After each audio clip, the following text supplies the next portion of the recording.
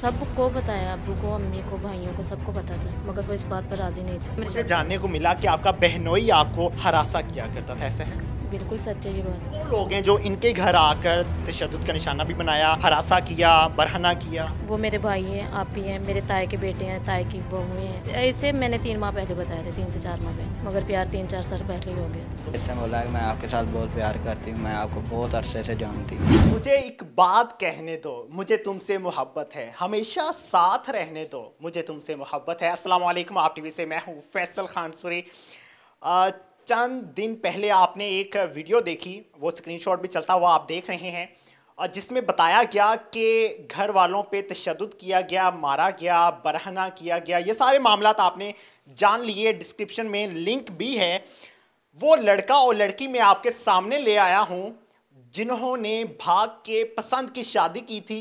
लड़की का क्या कहना है, क्यों भागी थी वो घर से और लड़की के घर वालों ने लड़के के घर आकर तशद क्यों किया?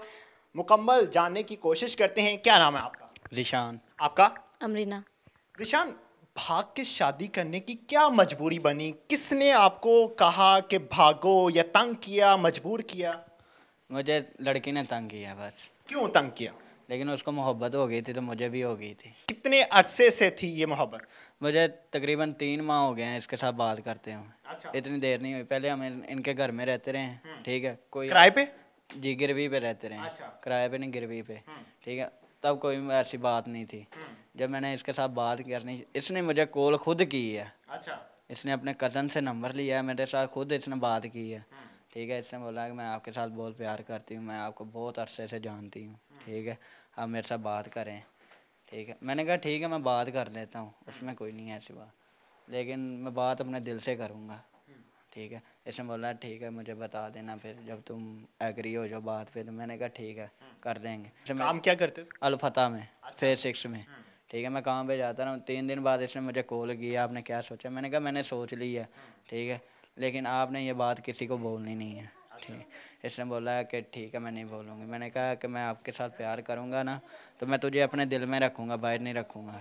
ठीक है? इसने बोला कि मैं भी आपको बहुत दिनों से, बहुत सालों से मैं आपको दिल में रख रही हूँ।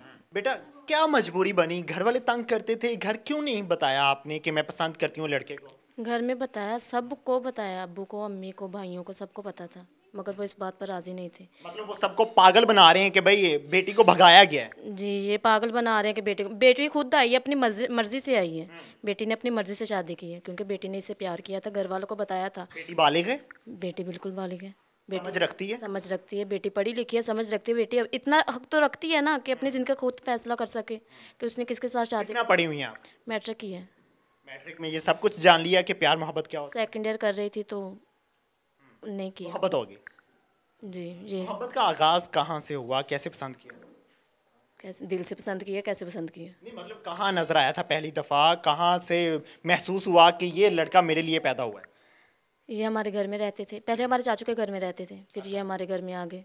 तो बस इसी से एहसास होता रहा। कि ये मेरा है तो मैं इसे अपना बना कर रहूँगी। ये नीचे सोता था आप ऊपर सोती थी प्यार मोहब्बत बढ़ता गया। नहीं ये हमारे साथ वाले कमरे में था। साथ वाले कमरे में सोता था? हमारे कमरे बिल्कुल साथ साथ थे। लेकिन करंट पैदा हो रहा था कि ये मेरे लिए पैदा हुआ। जी बिल्कुल ऐसी बात है। मुझे जानने को मिला कि आपका बहनोई आपको हरासा किया करता था ऐसा है? बिल्कुल सच है ये बात। क्यों करता था? बस उसके दिल की मर्ज़ी है वो ऐसा ही इंसान है बदतमीज़ इंसान है। आप ही को बताया था मैंने कि आप ही आपका शोहर ऐसा है बट आप ही नहीं मानती थी। वो मेरी भाभी के साथ काफ़ी बार लड़कियों के साथ ऐसा ही करता था। कितने बच्चे हैं उसके? उसके दो बच्चे हैं एक बेटा और एक बेटी। भी ऐसी हरकत करता है? जी इतनी सब माँ बाप को बताया था? सबको पता था भाइयों को अम्मा अब्बा को सबको पता था। भाइयों की गैरत अब जागी पहले नहीं जागी थी? नहीं अब जागी है। जब बहन घर से चले गई ना तब जागी है। वो कौन लोग हैं जो इनके घर आकर तशद का निशाना भी बनाया हरासा किया बरहना किया? वो मेरे भाई हैं आप ही हैं मेरे ताए के बेटे हैं ताए की बहुएँ हैं और मेरे बहनोई हैं मेरे पुप्पो लोग हैं। सारे सारे इकट्ठे हो जाते जब मारपीट करनी हो ना सारे इकट्ठे हो जाते। वैसे वैसे एक दूसरे से मरना मरना जीना ख़त्म किया हुआ इन लोगों ने।